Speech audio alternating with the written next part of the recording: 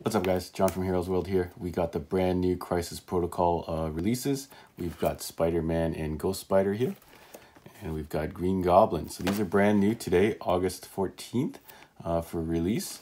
And I just wanted to do a quick unboxing because I'm looking forward to adding these guys to my Spider-Man team, which is pretty sparse right now.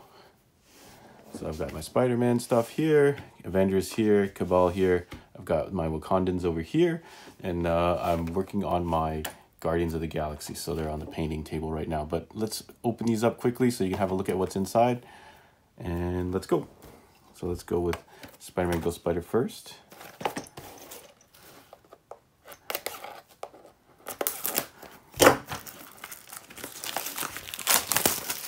All right, so just quickly, the contents are listed here on the back. So if you're missing any of these items, definitely contact your place of purchase. So you would contact us at Heroes World, or if you can't get a hold of the place you purchase from, you uh, contact Atomic Mass Games, and hopefully they will replace that for you ASAP. So let's see here. Uh, I'm actually going to guess that this is probably going to come with four bases because that's typically what they do. So let's see. So these are your tokens, you think? Yep just as I guessed, four bases. So if anyone's looking for bases, you're going to have a ton of bases extra from this game. Uh, so let's take a quick peek at these here. I'm pretty sure all this has been revealed online already. Uh, if you do not play this game currently, I highly recommend it. It's a great game. It's got a lot of things going on for it, plus these beautiful miniatures, as well as it's all Marvel comic based. So we've got all these guys here. I'm missing Thor, uh, Valkyrie, Loki, Hela, and a couple other pieces uh, in my Guardians you didn't see. I mentioned that earlier. Um, but the, the game just features all kinds of fun characters, and, and they're going to be adding X-Men coming this Christmas. So these are your cards. These are your tokens. These are your hero cards. Sorry, I'm still kind of new to the game, so if I'm calling these by the wrong terms, I apologize. So these are the original way you start, and then when you start taking hits and injuries, you'll flip to this side. So the game, I, I really like it. What I've played so far, it's kind of like HeroClix blended with a little bit of Star Wars Legion, if anyone's ever played that. And then we will also always get this, which is your read this first CP10 is this particular expansion.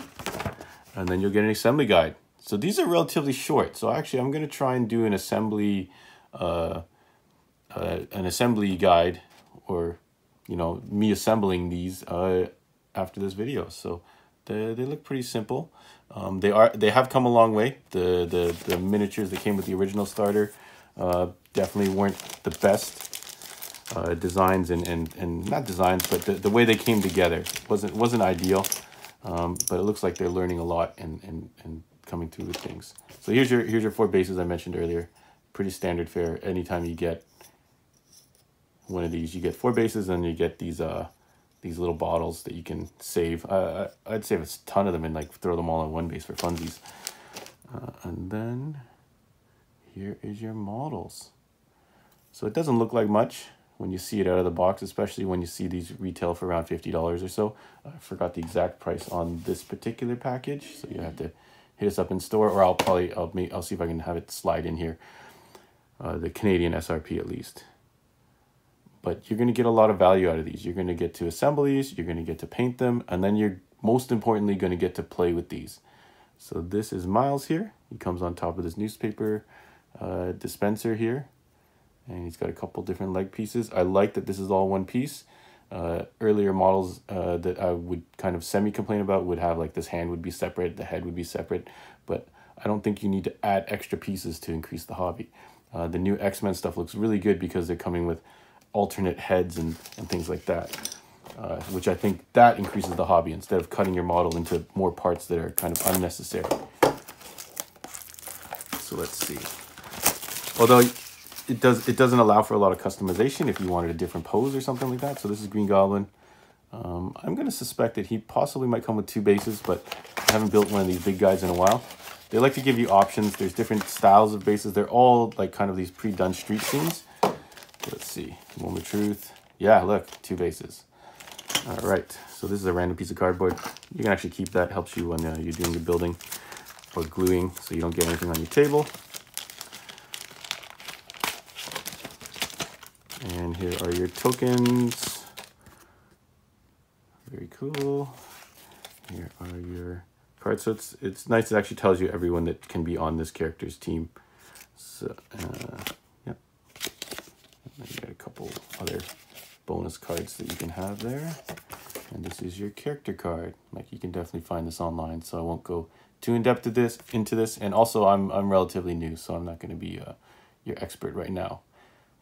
I'm looking to really get into this. Games maybe take maybe an hour or so. All right, so this is your expansion set, CP21. Read this first, and then this one. So this one's a little bit more in depth. He's standing on his Goblin Glider here. Uh, but it's not too crazy. I, I don't think I'll build this guy, but I think I'll build the, the Gwen, the, the Spider Gwen and the uh, Ghost Spider as they call her now, and the Miles. So I'll, I'll cut to that after. Uh, I, uh, I'll show you my uh, Wakandans quick here. So I actually just ended up covering the bases with the texture paint from uh, Games Workshop Citadel. They kind of make it a little bit different. Sorry, my painting isn't going to win any competitions. I'm actually doing these for speed. Uh, actually, a lot of these early models, I had a brand new uh, player do, and I helped them along the way. So these are pretty good for someone's first effort into uh, paint model uh, painting. Uh, a friend of mine, Pat, he's new to painting. I showed him how to do this all with the contrast paints. I might have done a couple touch-ups on the faces and things like that. And, and, and the hair and the little details, but he did most of these all himself as a new, as a brand new, brand new to this.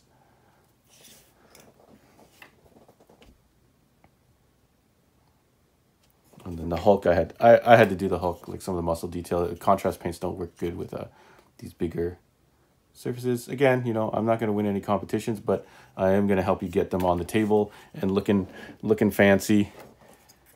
Better than, uh, you know, un, undone or just primed models, hopefully. But you know, that's all subject to opinion. So let's go. So for assembly, you will need some glue. Uh, I use the Super T Hot Stuff right now. Uh, not all plastic glues will work on this, so definitely you'll have to experiment. I don't know if the Games Workshop plastic glue works on these. Uh, I'm not looking to try today. Uh, I'll try, maybe I'll run some recon. And you need a hobby knife, nice and sharp and a pair of clippers. Uh, so this is the Army Painter. This is the older model. They do have a brand new model now. It looks a little bit nicer. It has a red handle. Um, and I have this one. These are the God Hand clippers, not the crazy expensive ones. Uh, they're, they're kind of economy brand. There it is, God Hand. There's the model number. These I like these because they're really, really sharp. And they cut really good. I'm actually quite impressed. Uh, another really good set of clippers is the Games Workshop uh, Citadel clippers. They're like a metal uh, anodized handle. They look really fancy, a little bit more expensive. This one's around maybe 16 bucks Canadian. Uh, the Games Workshop ones are uh, either 30 or 40 bucks. Hey guys, we're back and we are assembling Spider-Man. So Miles Morales Spider-Man, one of my favorite characters in the Marvel Universe right now. Uh, he's only literally four pieces and a base. Uh, so this is going to be really easy. As you can see, the pieces are numbered and they will correspond to the sprue. So that's Ghost Spider. You can kind of see them there, but you know what? You can basically see what's what. So it's pretty simple. So I'm actually going to clip everything out. Um, so I'm going to take my clippers here, and I'm actually going to cut uh, nice and flush against the model here. And that's going to save me some cleanup time.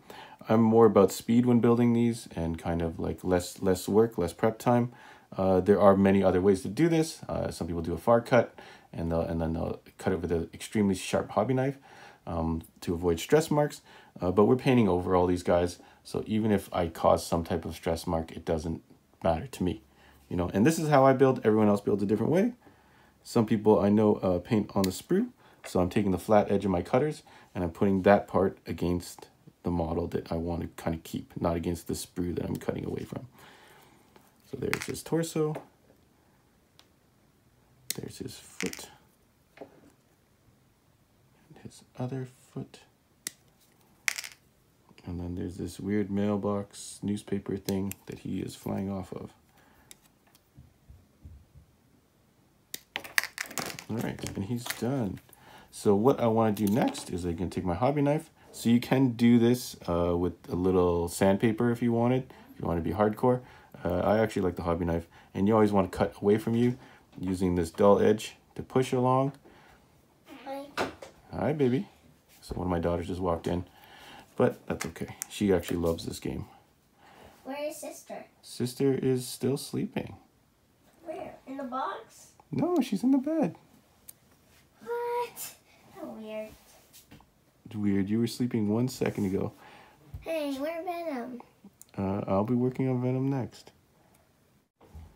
Sorry, cut away for a second there. My daughter was getting a little chatty. I've got a couple of other projects I'm working on, and she's asking me about those. Uh, so it's kind of funny. She's really on me. So, like, see, there's a little nub here. And I'm going to use the hobby knife to shave it off. Sorry, it's going to be really hard to see, sorry. So I'll try to figure out better ways to show you guys this. And some people leave these. Some people don't care. Some people like uh, leave that type, leave these things, and and figure it's not apparent enough. So you can see his little. I don't think it's gonna focus.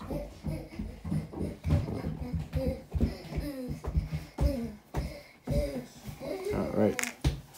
So now that I've got all my pieces cleaned up, I'm gonna choose a base and we're gonna glue all these guys together. So I'll be back in one second. I drop. Okay, come here. Come here, Izzy. I'm actually gonna get my daughter to help me clip this base off. Come, come. Here, here's the clippers. Come on, come this side. Izzy, come this side.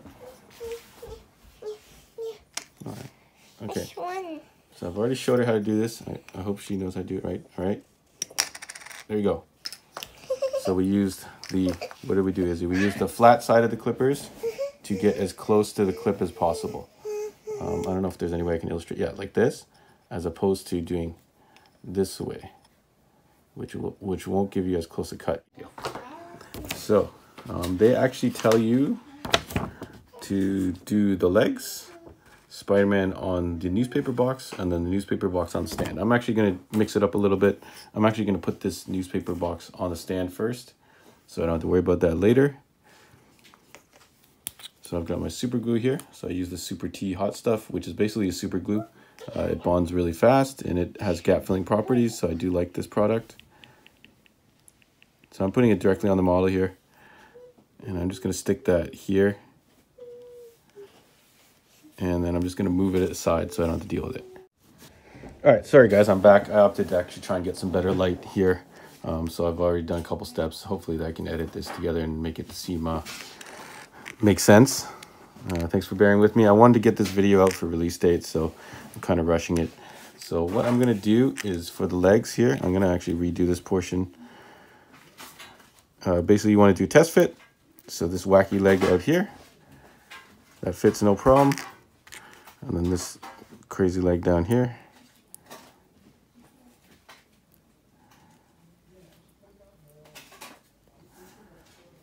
So if you've got like big hands, um, then you might want to get a set of tweezers for doing stuff like this. So hopefully you guys can see that.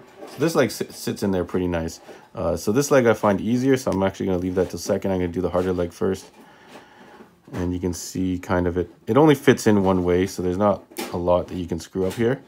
Uh, and big props to Atomic Mass for this for this particular model. I like how it comes together. I like how it's not a ton of pieces.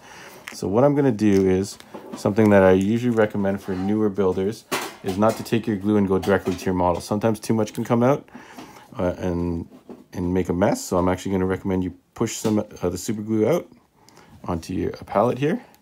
Get a toothpick or something with a sharp point and just use that to apply your glue. That way you know exactly where it's going and you're not going to use too much. So I'm putting it here on the outer ridge of where this leg's going to go. And I'm going to stick it back in. There you go. And you're going to want to push it as close together as you can. And the seams, so you can see, see his butt there, fitting together pretty good. That's what the nice thing about this Super T is. Uh, it is gap filling, so it will give you uh, a nice finish, especially after you prime it. There we go. Uh, and normally I wait a little bit longer, um, but since I'm trying to do this on camera, I'm actually going to try and pop the other leg on. So I'm going to take my toothpick here. So this super glue will usually actually sit here pretty, pretty good for a while. I believe super glue dries faster when there's absence of air. So that's why when you press two pieces together, it'll glue a little faster. You can get, oh, see, this is where I should have been paying attention to where this leg goes.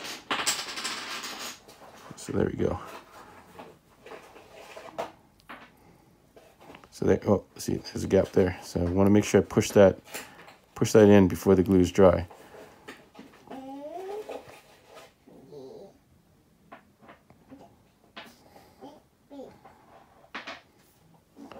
That's not bad. And I'm going to go ahead and just glue him onto the next piece here, which is the mailbox. And you can see there's actually a little hole uh, for his hand to fit here.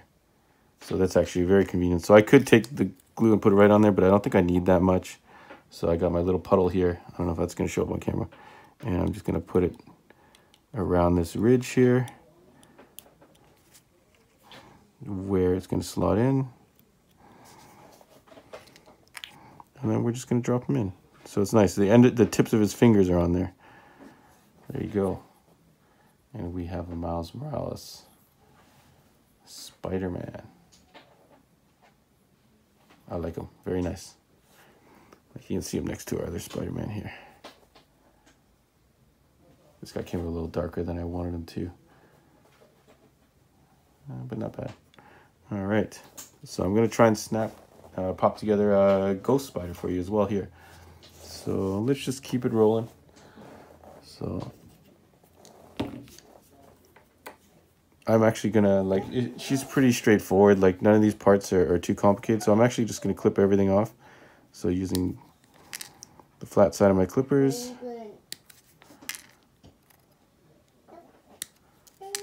Clip all these off. Might be able to hear my youngest daughter in the background here. So I'm actually gonna flip this over and see how much of this piece is actually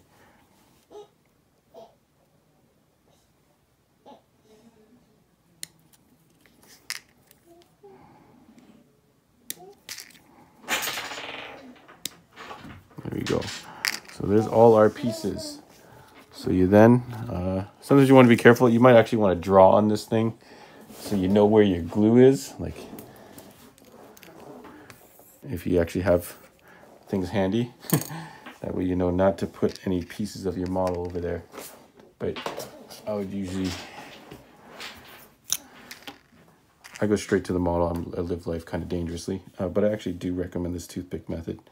So I'm just going to be cleaning off the, the sections here. So cutting away from myself. And these clippers are actually really good. So I'm actually not having to remove a lot. So here you can kind of see it. So this one you want to be care careful not to kill any of your other detail.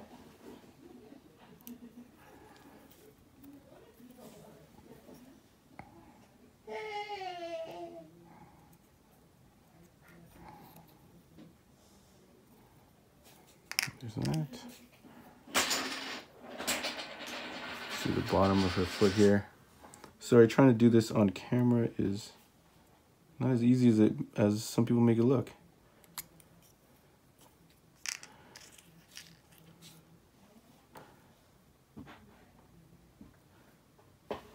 So I can't even see where I clipped it off on this arm. So I'm gonna leave it. I think it was somewhere here. Oh no, here, right here, this peg. So this is actually not necessary, but I'm just gonna do it for complete a sake because it's actually gonna be covered up and in, inside the body. Uh, let's see here, right here. Sorry, I'm off camera again.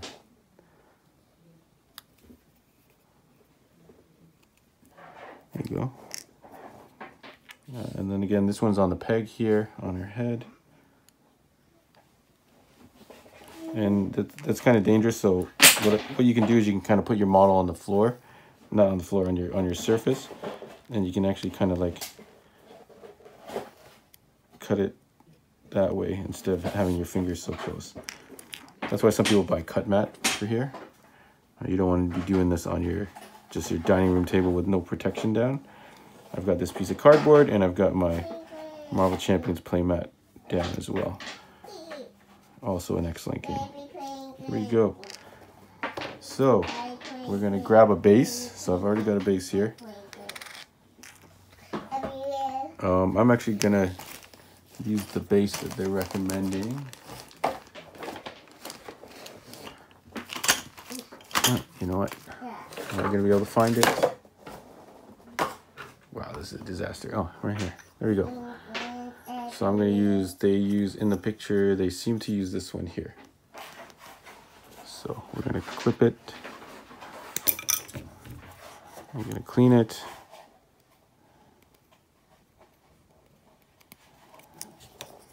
Right. Uh, and I'm going to pop the instructions onto the screen here for a second.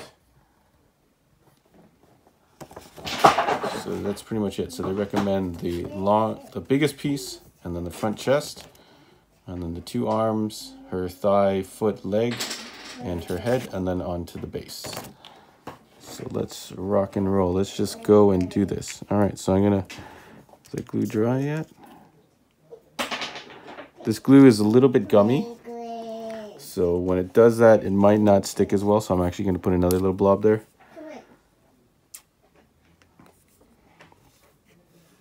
And then make sure I put my nozzle on my glue nice and tight. Get that out of the way. And let's grab our toothpick. And you see where these, uh, it's got a big peg here, and then along, these are the seams that are gonna connect. I'm gonna try and just put a lot of, a bunch of glue on there. So some on the peg, some here. There you go.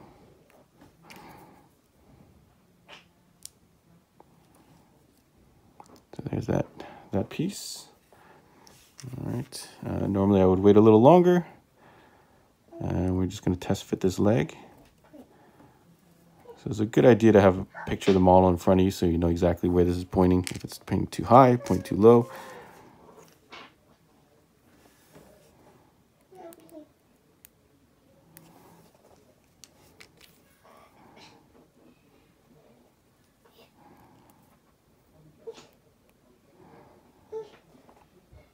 Push it on there. You want to make sure you get a nice tight fit. You can still see, you can see the line because it's two different pieces.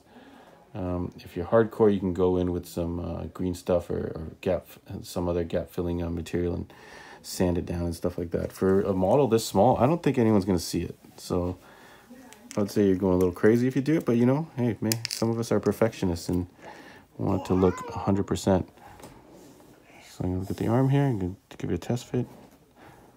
So I'm actually pretty impressed by these newer models. It's been a while since I've actually built one of these. Sorry, my, my little baby took control of the camera rig that I'm using. So push it in there. I was saying that I'm actually impressed with the way these uh, newer models are being built. The way they go together is a lot easier and a lot more beginner friendly. I'd say the starter set, if you if you're new to this and and you can have someone who's experienced with miniatures help you, definitely take that take that help. Uh, just because some of the the pieces are very small in the starter set, and some of them don't fit together as nice, or take some take some doing. So I'm gonna push this in, hold it there for a little bit.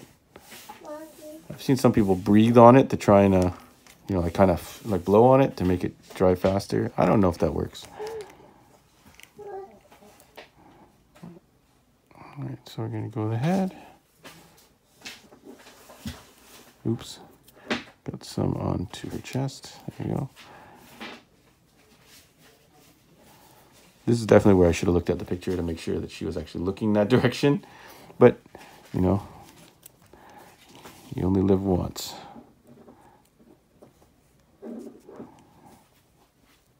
All right, so models on base. quickly look at the picture.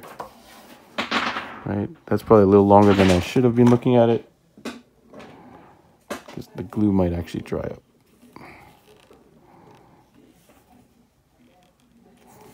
There we go. We have Ghost Spider, aka Spider Gwen.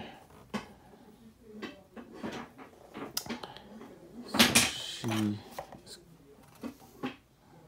Looks like that.